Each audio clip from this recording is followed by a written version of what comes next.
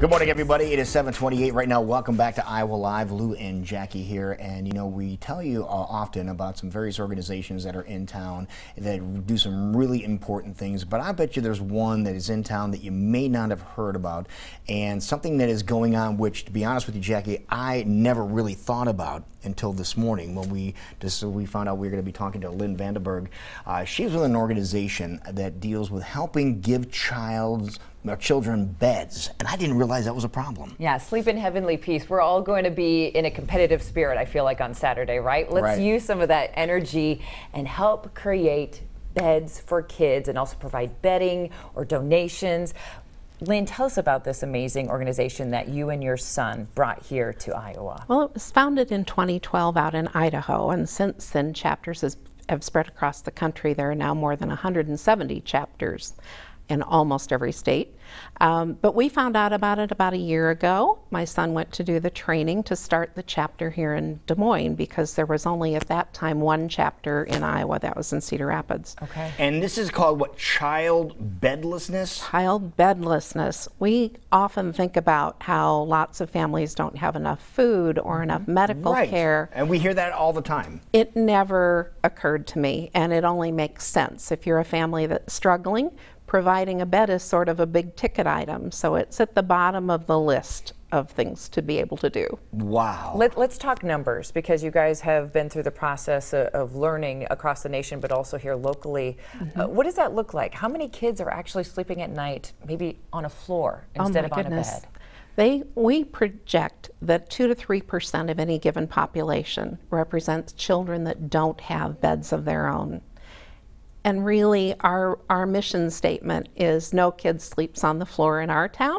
Mm-hmm. So we're trying to address that because we firmly believe that every child deserves to have their own bed. Without question. It's, so they're- they're sleeping on the floors or on couches or where else? Or several kids on a mattress on the floor sleeping together, which is kind of a crowded situation, an air mattress on the floor, very often on a pile of clothes on a their pile floor. of clothes.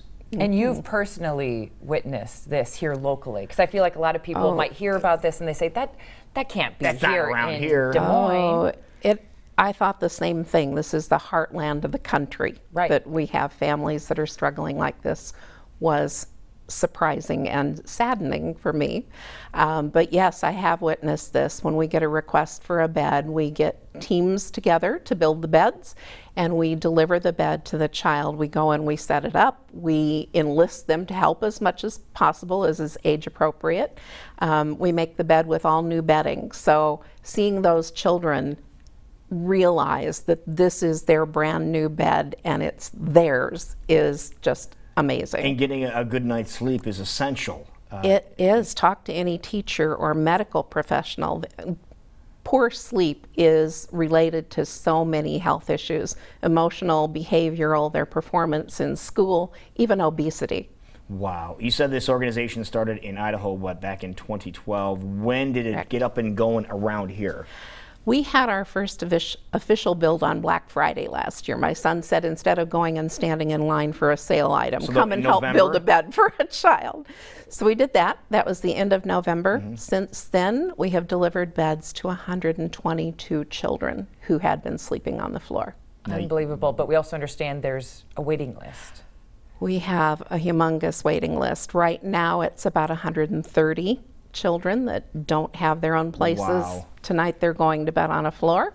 Saturday, we'd like to help build some more beds and get those to some of those. No, what kind of beds are we putting together here? What kind of beds are we building? You know, they're not fancy. They're out of two by fours. Anybody that wants to come and help doesn't have to have any woodworking experience whatsoever. We provide all the tools and the supervision and instruction. One of my favorite volunteer quotes is If you can brush your teeth, you can run a sander. Oh, perfect. and come help with this. We take uh, volunteers 12 and older as long as they're accompanied, accompanied by an adult, but we're happy to have people come and help. And we build the component parts. We build the headboards and the side rails and stack those up. And then when we go to do the deliveries, we take those parts and go put them together in the home. Unbelievable. Okay, so that's all taking place this Saturday. This Saturday Okay, so where do we need to go and when? at the Lowe's at Jordan Creek, Okay. they have been so wonderful to host us and provide the lumber for this build. And it will be from 9 o'clock in the morning till 3 in the afternoon. So for those of you that are, I guess there's some sort of sporting event this weekend. Yeah, small it one, starts yeah. about the time you're finishing, know. so don't worry about it. You, you Come can on get out. this in. That's why I said everyone has a competitive spirit, so use that energy and uh, go build some beds. Absolutely. I love that idea. But we do encourage that they register in advance so you have an idea of who's coming and who can fill what shift. Yes, correct? so we know that we have enough tools and workspaces for everyone. Okay. go back to November real quick. Uh, how many beds were you able to build uh, the first time you got In, in November, together? we only built about 10. okay, just to get going. just to get going. And then we had some, you know, build pieces and parts as we had time. But we like to get groups together. So we were at the home show in February and we had volunteers come down there. I think we built about 40, 45 beds Oh, my there. goodness. Um, and we had another big build in June. And hopefully, as people are more aware of this, we'll have more support and be able to have more builds and serve more children. Yeah, and that's why we want to talk about it this Right. morning to get as many people and awareness as possible. But let's say I already have plans on Saturday, but I love the mission of what you're talking about and I want to give back. What are some other ways we can help you guys? Well, for people that don't feel up to building but Right. would like to donate, they can drop by Lowe's on Saturday between 9 and 3 and we'll have a bedding drive. So Okay. donations of new twin size bedding. Oh, okay. Pillows, sheets, mattress pads, comforters, those bed in a bag sets are great because everything's all in one. For people that can't come out, um, they can go to our Facebook page. There's a donate button there. Mail us a check. Our address is on the Facebook page as well. Okay, so every little bit helps, whether you want to help physically build with your time, whether you want to drop off some bedding for twin size uh, beds, or you would just like to make a monetary donation. We want to make sure no kid sleeps on the floor in our town. Lynn, why has this become such a passion for you and your family? You know, I have five children, and when I think about all the tucking ins at night and realized how really sacred that time was, that they had their own bed, and it wasn't just that it was a place where they got better sleep than if they had been on the floor, but they had their favorite pillow and their favorite blanket, and we read the bedtime story, and it was their own personal space. Mm-hmm. And it just touched me to think every child deserves to have that. And now I know that lots of children don't. And how can we how can we fix that?